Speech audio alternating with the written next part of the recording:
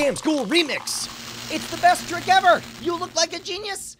They look like a sucker. Would you have a seat, please? Of course, yes. Just I'd like to take one finger pointed into the air, take the other finger pointed into the air, same time, and then point them towards each other.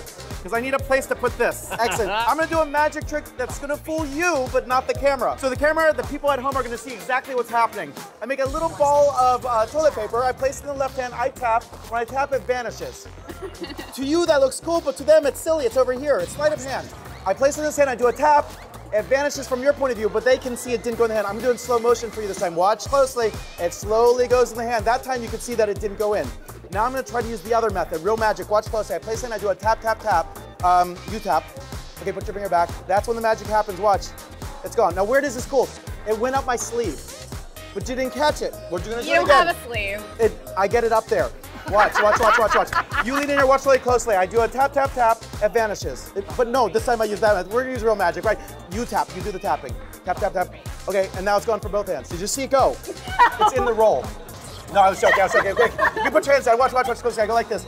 You tap, tap, tap, tap, tap. But wait, wait, wait, it's gone. No, but wait, wait, there's more. Think of something you really want in life, okay? Think of something, I'm gonna make it up here, I right here. really want that toilet paper. what do you really want? No, you want a, a beer. How about that? This is for you. That was awesome. That was awesome! that amazed me. I mean, at first I got it, but then when he added up his sleeve, I did not get that. And then the roll of toilet paper, I have no idea where that went. It's hard for people to believe how much of a fooler this is to the person sitting in the chair. It's so simple, and the simple ones are always the best foolers. the general principle is you take advantage of the motion to go behind their head to Well, throw there's a handful of things. There's big motion covers small motion. There's Right. out of line of sight. It's Right. also mis- refocusing their attention or misdirection. It's also giving them a plausible other alternative where it could be so that they're focusing in the wrong place. You get a roll of toilet paper, tissue, anything like that. So the do that idea is you start small, and I think you've done big motion cover, small motion. Oh, sure, sure, sure. So what you do is you just practice. I call it a put take. So instead of actually putting it in the hand, what you do is you roll into your hand, and you don't actually put it And in it there. It almost doesn't matter if you can't do it well, because even if they're not fooled here, you're building the precedent that you're doing sleight of hand. And if you look at it from Brian's point of view, he's looking at the back of my hand. He's Yeah, not no, you seeing ca- much you at all. can't. So you do a put take like that and it vanishes.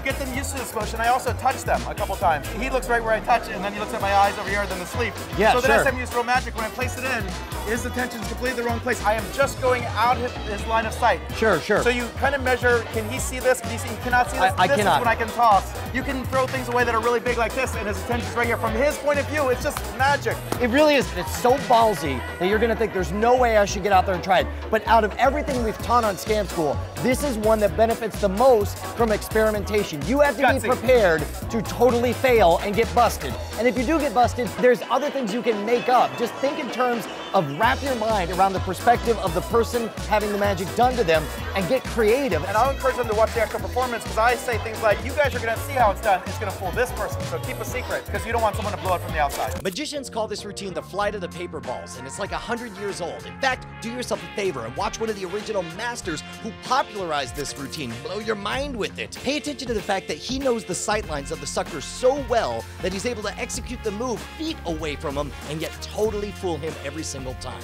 Want to give a special thanks to Robert Strong for joining us on this episode, and don't forget the Scam School remix brings you the best of our over seven years and 400 plus episodes of Scam School. You can check out the episode this one came from, or check out this week's episode, in which I have a reasoned conversation with Death. And I say, ah, please don't. Five, Death? No. And then I die.